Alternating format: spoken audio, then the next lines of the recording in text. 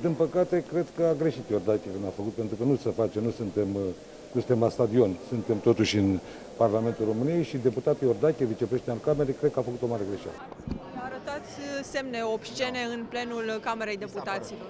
Mi s-a părut. Deci, Nu ni s-a părut, avem imagini. e, bun, e un punct de vedere. Deci, uh, au fost... Iordache, nu vă spărați că vă întrerup aceste imagini. Așa, păi și bun, am cu mâinile ridicate, care e problema? Bun.